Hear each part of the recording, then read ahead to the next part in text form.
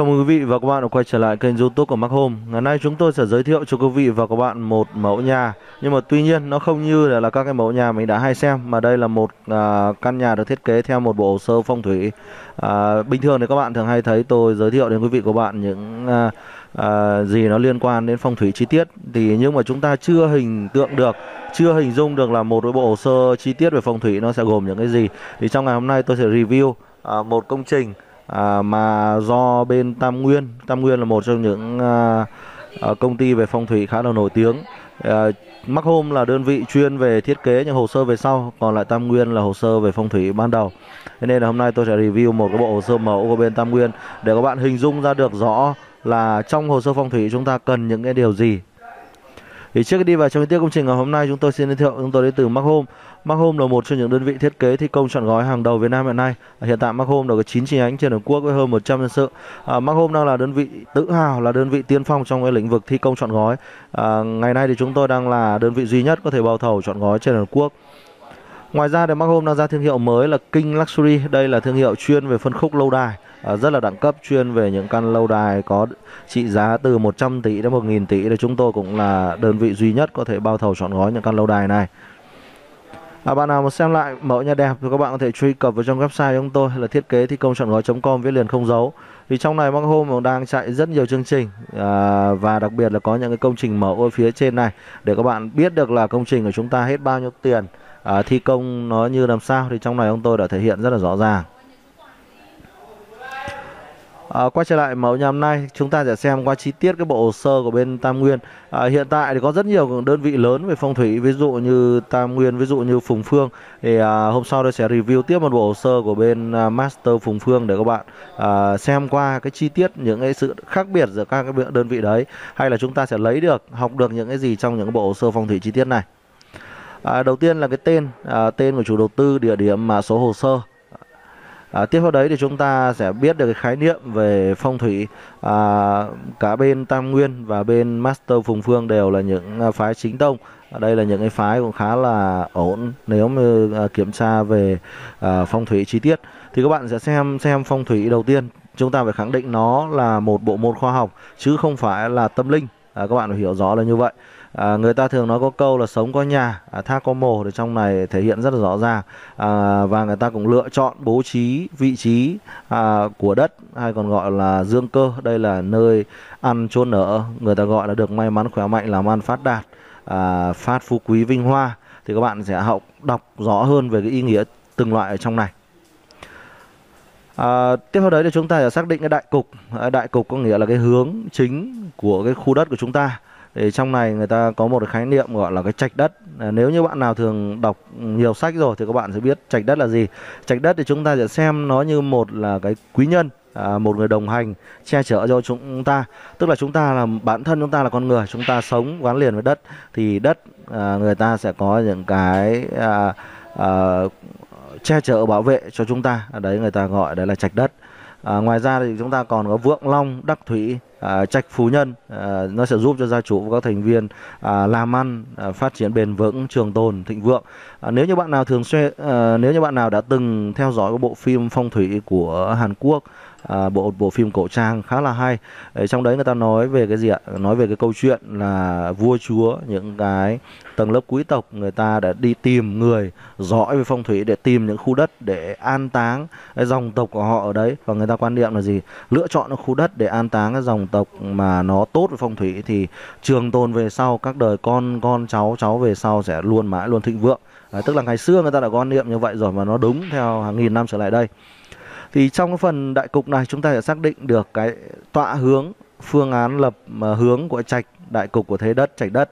Ngoài ra thì chúng ta sẽ xác định vận của trạch đất người ta gọi là vận long vận thủy. À, tiếp theo đấy chúng ta sẽ xác định được vượng khí của năm xây dựng và chúng ta sẽ xác định được nữa là phương vị sát khí của gia chủ à, lưu ý trong quá trình sử dụng. À, chúng ta sẽ có một số khái niệm như thể là hướng nhà tọa phương vị thanh long bạch hổ chu tước huyền vũ thanh long bạch hổ thì các bạn đã biết rồi chu tước huyền vũ các bạn cũng đã quá là quen thuộc rồi nó là những cái khái niệm để chúng ta biết được vị trí nào tốt để chúng ta lựa chọn khuôn viên khu đất Tiếp theo đấy là chúng ta sẽ đến cái mặt bằng lập hướng hay còn gọi những cái xác định cái hướng ban đầu của ngôi nhà của chúng ta. Thì đầu tiên chúng ta sẽ quan trọng đến cái hướng của phần cửa chính và cửa cổng. Đấy, cửa cổng cực kỳ quan trọng. Thì trong này chúng ta sẽ hướng được là cái tọa độ là cái lập hướng căn trên à, la bàn 24 sơn. À, cái la bàn này thì các bạn có thể mua được ở bất cứ ở đâu, ở cửa hàng nào chuyên về phong thủy được. À, và các bạn xác định là đặt cái la bàn vào chính giữa tâm của công trình để chúng ta xác định ra à, được những cái hướng, hướng nào hướng tốt, hướng nào hướng xấu. Thì phân bổ các phương vị trong nhà trạch đất theo la bàn 24 sơn thì chúng ta sẽ kích hoạt được cái tài lộc hàng năm của gia chủ. Thế nên là người ta có câu là gì ạ? Những người càng giàu càng làm chức cao vọng trọng thì người ta càng quan niệm cái phong thủy nó đúng. À, bởi vì người ta càng làm đúng cái phong thủy thì người ta lại càng được thịnh vượng. Thế nên là cái này là cái rất là hợp lý. À, tiếp theo đấy là chúng ta sẽ xác định được những cái màu sắc, cái vật liệu nó phù hợp với loại ngoại thất thì trong này chúng ta có rất là rõ ràng, à, rõ ràng về cái màu sắc họa tiết hoa văn rồi là gạch lát sân vườn rồi là tư vấn kể cả những cái loại cây nó phù hợp với gia chủ cái này hoàn toàn đúng các bạn nhé người ta gọi là thiên địa nhân hợp nhất Đấy, tức là những cái gì nó uh, hài hòa giữa thiên khí, địa khí và nhân khí. Uh, cái đấy mới là cái quan trọng. Đấy, chứ còn nếu như chúng ta quan niệm chỉ về cái màu sắc không thì thôi là chưa đủ, à, chưa đủ. À, thế nên là các bạn phải hiểu được cái uh, à, cái ngũ hành cái ngũ hành thì chúng ta mới biết được là những cái gì chúng ta tốt những cái gì nó sẽ phù trợ. Không phải một mình ngôi nhà mà thiên nhiên à, mà vật liệu mà màu sắc nó cũng sẽ trực tiếp ảnh hưởng đến cái vận mệnh của chúng ta. À, tiếp theo đấy là sẽ là nội thất. À, xong ngoại thất sẽ là đến nội thất. Nội thất cũng tương tự. Nội thất thì chúng ta có một số những cái quan trọng. Ví dụ như thể là họa tiết trang trí nội thất hay là cái tư vấn màu sơn à, hay là cái tư vấn màu gạch. Đặc biệt là cái số bậc thang cũng như thể là một số những cái loại cây xanh đồ đạc mà chúng ta bố trí ở trong nhà. Đấy người ta gọi là cái bố trí nội thất và hướng bếp. Thì căn cứ vào căn nhà thì chúng ta sẽ xác định tọa hướng độ đấy, hồ sơ tư vấn phong thủy và màu sắc của nội thất màu sắc của các phòng như phòng khách phòng bếp cầu thang. Thì khi đấy chúng ta sẽ có được theo cái phương pháp gọi là bổ long phù sơn. Đấy, nhằm cái tăng cường vượng khí uh, cho trạch đất. À, tiếp theo nữa là chúng ta sẽ biết được cái cửa cửa ở đây nó cực kỳ quan trọng. Nếu như bạn nào thường xuyên theo dõi các video của tôi thì các bạn sẽ biết được rằng là gì ạ? Trong cái cửa đây thì nó có một cái kích thước gọi là kích thước lỗ ban. Thì à, trong cái phong thủy người ta quan niệm chúng ta là kích thước lỗ ban à, có một số loại. Ví dụ như loại 42.9 người ta gọi là à, thước dương cơ à, thước âm trạch là 38.8 còn gọi là kích thước thông thủy là 52.2 thì à, các bạn à, thường xuyên theo dõi video của tôi nhưng mà các bạn chưa hình dung rõ ra được à, cái cách xem và cái ý nghĩa của nó như thế nào. Thì trong cái phần hồ sơ về cửa này chúng ta sẽ thể hiện được những cái thông số kích thước của cửa cổng cửa chính cửa thông phòng áp dụng với lại chiều rộng và chiều cao. À, ngoài ra thì à, kích thước này là cái kích thước à, mà chúng ta sẽ lựa chọn à, để nó giúp cho gia chủ sinh tài sinh vượng à, cái này nó rất là quan trọng. Đấy, chưa kể là chúng ta phải xác định cái chiều mở ra mở vào. Nói chung nó có rất nhiều những cái dòng cửa mà nó phù hợp với lại phong thủy. À, rồi bây giờ chúng ta sẽ tiếp đến một cái nữa là cái uh, nghi thức động thổ hay còn gọi là cái phương pháp động thổ. À, động thổ nó là một cái nghi thức vô cùng đặc biệt ở trong phong thủy khi chúng ta khởi tạo nên xây dựng công trình. À, phong thủy người ta gọi ngày động thổ là ngày khai sơn lập hướng. Cái ngày động thổ như thế là cái ngày thụ thai đối với lại một đứa trẻ nạp khí, nạp vận à, lựa chọn xác định vị trí, địa điểm, thời điểm và cái cách thức để giúp cho chúng ta tăng cái vượng khí cho gia trạch. Thế nên là cái ngày động thổ là một trong những cái ngày cực kỳ quan trọng. À, chúng ta phải quan niệm cái ngày động thổ nó phụ thuộc vào những cái hành động, à, những cái lựa chọn thời điểm, thời gian của chúng ta. Thì đầu tiên chúng ta phải xác định được cái vị trí động thổ chính xác trên cái phương án nhật nguyệt đáo sơn à, của cái phối kỳ môn độn giáp người ta gọi đây là chiêu dẫn vượng khí phù hợp vào căn nhà à, tiếp theo đấy chúng ta sẽ tư vấn cho chủ nhà cái lựa chọn về cái tuổi động thổ người ta gọi là phù long tương chủ à, đắc thời trí vượng nhật trạch đấy. và cuối cùng là cái hướng dẫn cái nghi thức lễ trước rồi sau trong rồi sau khi thực hiện cái phương pháp này nó đúng theo nguyên tắc tâm linh à, năm à, tới đây thì Mark Home sẽ tiếp tục ra một à, cái thương hiệu mới chuyên về phong thủy. Thì trong đấy thì chúng tôi sẽ đã bao gồm cái thi công chọn gói rồi, đã bao gồm thiết kế rồi. Thì chúng tôi sẽ bao gồm luôn cả cái những cái lễ, những cái nghi thức mà giúp cho chủ nhà ở xa không cần uh, có mặt uh, hay là chúng ta không cần phải mời những người thầy khác nữa mà trực tiếp do những người thầy ở trong công ty Mark Home uh, chúng tôi đứng ra làm lễ giúp cho chủ nhà. Tức là chọn gói chúng ta chúng ta đã xác định chọn gói là mọi công việc mọi vấn đề và mọi sự quan tâm là đều từ công ty Mark Home. Đấy, thế nên các bạn hoàn toàn yên tâm sử dụng dịch vụ của chúng tôi. À, sau đây thì chúng ta sẽ xem cái phương án chấn trạch à, đây cũng là một trong những cái thuật pháp ở trong phong thủy. Người ta gọi là định trạch an gia à, chấn trạch trì bão hay còn gọi là kỵ tà ma nhập à, khí xâm phạm gia trạch. Thì các cái pháp khí này thì thường là chúng ta sẽ dùng để chiêu long tụ khí à, thu năng lượng hay còn gọi là kích hoạt vận mệnh ra, gia chỗ thế thì cách làm thì chúng ta làm gì? Các bạn xem qua phần mặt bằng này. Đấy, xem qua phần mặt bằng này. Thì chúng ta sẽ xác định cái vị trí và phương pháp bố trí các cái bảo chấn trạch định long.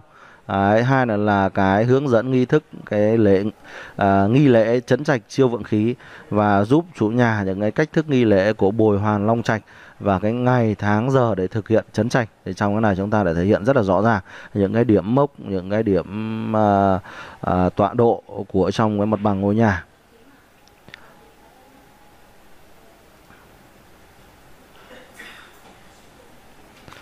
Rồi sau khi xong cái chấn trạch thì chúng ta sẽ đi đến cái chi tiết về cái mặt bằng công năng. Thì trong phần mặt bằng công năng này thiết kế lên thì nó phải đảm bảo là ba yếu tố. Lâu nay chúng ta hay biết rằng chúng ta phải đảm bảo ba yếu tố. Yếu tố thứ nhất là giá thành. Đấy, chúng ta có làm cái gì, làm trời làm đất, làm to làm nhỏ thì cái giá thành cũng là cái quan trọng đầu tiên. Bởi vì cái giá thành thì nó sẽ phù hợp với lại túi tiền của chúng ta. Chứ nếu như chúng ta làm đẹp về phong thủy, làm đẹp về kiến trúc nhưng tuy nhiên nó lại không phù hợp với giá thành, nó vượt quá cái tầm kinh tế của chúng ta thì xem như cái thiết kế đấy chúng ta phải bỏ qua, à, chúng ta không sử dụng được. À, thế nên là chúng ta phải biết được à, cái giá thành khi chúng ta thiết kế nó là chi phí nó là bao nhiêu. Trừ những nhà người ta không quan tâm đến giá thành thì chúng ta mới bỏ qua. Yếu tố thứ hai người ta gọi là yếu tố về công năng. Đấy công năng là một trong những cái yếu tố quan trọng ví dụ như thế là chúng ta không thể nào đưa nhà vệ sinh ra trước mặt tiền được. Chúng ta không thể nào uh, đưa những vị trí thang mà chắn hết cả phần cửa. Chúng ta không thể nào đưa những vị trí uh, phòng bếp phòng ăn ra cửa chính được. Thế nên là cái công năng là cái thứ hai cực kỳ quan trọng cái thứ hai các bạn phải để ý. Và cái thứ ba à, là nó sẽ liên quan đến phong thủy. À, phong thủy ở đây thì chúng ta có phần mặt bằng công năng như tôi đã nói như thế này. Thì trong cái phần mặt bằng công năng này chúng ta phải thể hiện rõ được cái phương án thiết kế bố trí công năng mặt bằng kiến trúc theo phong thủy mặt bằng các tầng. À, thứ hai là, là mặt bằng thiết kế công năng 2D bố trí nội thất. Và cái thứ ba là cái kích thước tỷ lệ kiến trúc tiêu chuẩn về hài hòa với công năng. Và cái cuối cùng là căn cứ vào mặt bằng này để gia chủ sẽ triển khai các cái hồ sơ kỹ thuật thi công tiếp theo. Ví dụ như kết cấu ví dụ như điện nước ví dụ như bóc tách kỹ thuật thi công chi tiết. Thì trong ngôi nhà này các bạn thấy rằng chúng ta đã thiết kế à, nằm ở trên cái khuôn viên khu đất có kích thước hình thang một chiều là 15 m 1 và một chiều là 8 m 9 Đấy. thì trong này chúng ta có một phòng khách này à, một khu vực phòng trà này một khu vực bếp và phòng ăn này à, và một khu vực cầu thang. Ngoài ra thì chúng ta có một phòng V cấp C nằm ở khu vực phòng cầu thang và phòng khách. Đấy, phòng cầu thang và phòng khách. À, vì sao chúng ta lại đặt ở những vị trí này? Bởi vì là những vị trí này thì chúng ta đã xác định được vị trí nào là nằm trong diện cung đen vị trí nào là nằm trong cung đỏ thế nên là nhiều khi phong thủy nó sẽ tranh chấp với lại công năng. À, phong thủy nó sẽ tranh chấp với công năng. À, bởi vì sao? Bởi vì nhà vệ, vệ sinh đặt ở vị trí này thì người mà đang sử dụng bếp hay phòng ăn ở trong này người ta muốn sử dụng người ta phải đi khoảng đường rất là xa. Đấy, bởi vậy là chúng ta sẽ lựa chọn để điều chỉnh công năng sao cho nó phù hợp. À, dĩ nhiên là phong thủy là một phần rất là tốt rồi nhưng nó phải phù hợp chứ chúng ta không thể nào chúng ta đặt nó không phù hợp được tiếp theo đấy là chúng ta sẽ mô phỏng công năng bóc tách mái ở trên diện mặt bằng thì cái mô phỏng này nó sẽ giúp cho chủ nhà dễ hình dung từ cái vật liệu lát sàn màu sơn à, và cái cách bố trí đồ đạc. Thì trong cái này chúng ta phải thể hiện được cái bố cục à, của nội thất đã được sắp đặt đúng tỷ lệ. Cái thứ hai là là chúng ta phải xác định được cái mô phỏng về không gian giúp cho chủ nhà bám sát thi công một cách dễ dàng. Thì trong cái này các bạn thấy rằng là chúng ta à, đặt giữa la bàn chúng ta sẽ biết được à, vị trí nào nằm trong cung nào. Đấy, vị trí nào nằm trong vị à, à, khảm nào thì trong cái này chúng ta đã thể hiện rất là rõ ràng rồi. À, tiếp theo đấy là đến các mặt bằng các tầng ở phía trên. À, các tầng ở phía trên thì chúng ta có bố trí sắp đặt à, về phong thủy. À, phong thủy cũng là những cái sử dụng những cái vật phẩm đấy các bạn ạ. Vật phẩm sử dụng ở đâu để khắc chế được những cái yếu tố không tốt. À, thì trong này chúng ta có một số những cái vật phẩm phong thủy này. Thứ nhất là vật phẩm phong thủy chấn trạch hóa sát hóa khí à, hóa giải ngoại khí. À, thứ hai nữa là à, các cái sản phẩm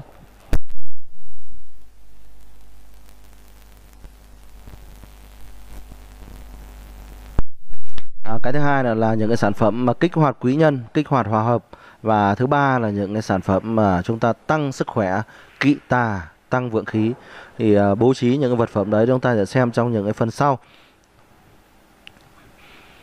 À, và một cái nữa là cái cách bố trí ở trên bàn thờ gia tiên. Thì trong này chúng ta đã có những cái vị trí phương pháp rồi.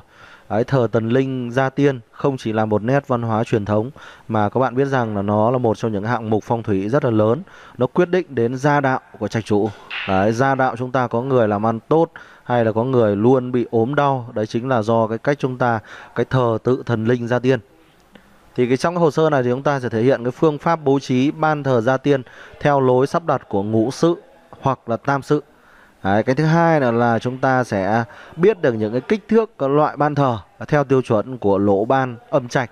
Và thứ ba là là tư vấn được cái phương pháp nghi thức cúng bàn thờ gia tiên. Thì trong này đây là cái mô phỏng của bàn thờ.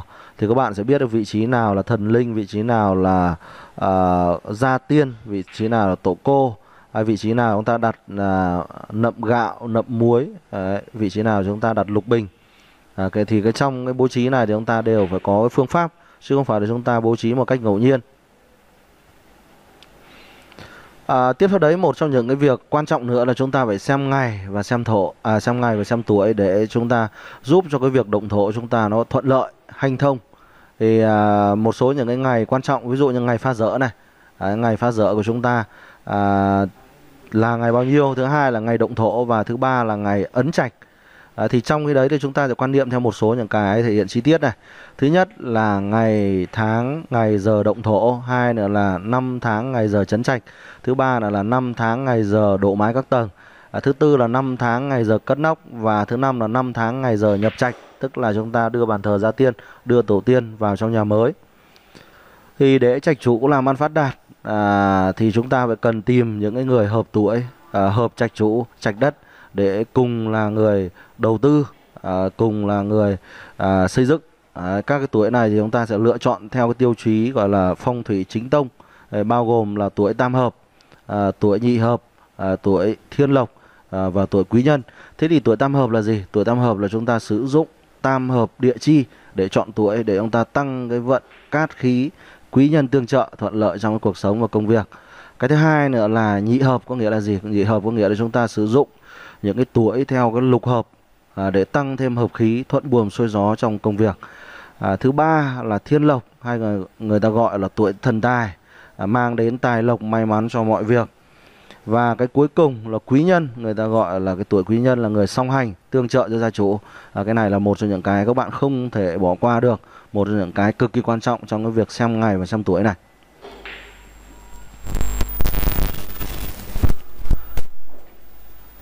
Tiếp theo đấy thì chúng ta sẽ xem qua cái vật phẩm phong thủy như tôi đã nói rồi.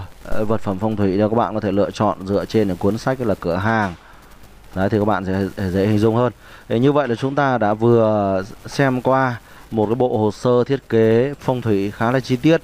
À, ngoài ra thì bộ hồ sơ này phải kết kết hợp với lại các kiến trúc sư thì chúng ta mới ra được một bộ hồ sơ hoàn chỉnh. Bởi vì như tôi đã nói đấy có thể là cái mặt bằng của chúng ta nó phù hợp với phong thủy nhưng tuy nhiên nó lại sai về công năng. À, và khi mà các bạn sử dụng mà nó đã sai về công năng thì chúng ta biết rằng là gì ạ? Là chúng ta rất là khó chịu. À, rất là khó chịu bởi vì công năng của chúng ta sử dụng nó sai hoàn toàn. Nó không đúng so với lại cái cái mà chúng ta thường xuyên sử dụng ban ngày. Chưa kể là gì nó vượt giá thành à, chưa kể là nó sai về kết cấu. Thế nên là để một công trình để một công trình mà tính toán hoàn thiện xong thì chúng ta phải áp dụng rất nhiều yếu tố. Sở thích của gia chủ à, phong thủy của công trình à, giá thành của công trình công năng sử dụng và cái kết cấu công trình. Đấy là những yếu tố quan trọng để chúng ta biết được là công trình của chúng ta có phù hợp hay không thì video hôm nay chúng tôi xin dừng lại tại đây thôi. Xin cảm ơn quý vị và các bạn đã quan tâm theo dõi. À, xin chào và hẹn gặp lại quý vị và các bạn trong những video lần sau.